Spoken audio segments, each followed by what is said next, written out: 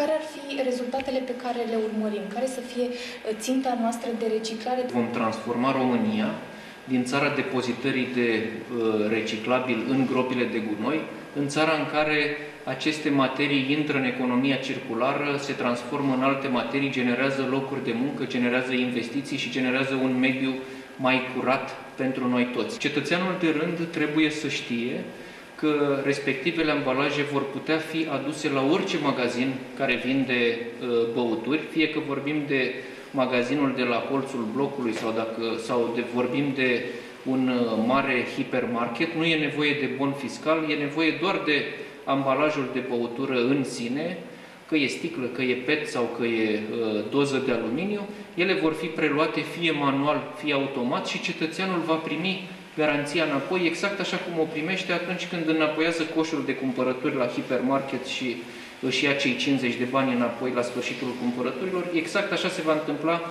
și cu aceste uh, uh, sticle, peturi și doze, imediat ce le înapoiază. Cât ar putea fi garanția? Garanția în acest moment este evaluată la 50 de bani.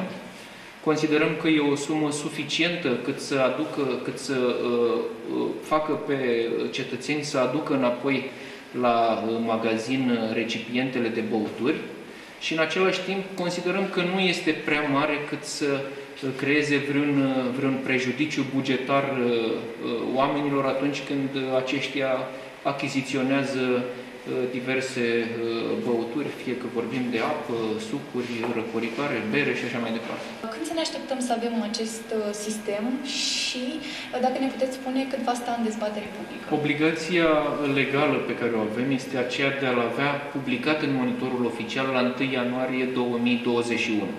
Asta înseamnă că ne aflăm în perioada în care va fi publicat spre consultare publică foarte repede. Vom avea 10 zile lucrătoare la dispoziție pentru a primi de la uh, publicul interesat sugestii uh, sau orice modificări pe care le consideră a fi oportune, după care vom organiza dezbateri publice referitoare la acel uh, proiect de hotărâre de guvern și de îndată ce vom încheia acest proces consultativ legal, de altfel vom procede la publicarea hotărârii de guvern în monitorul oficial.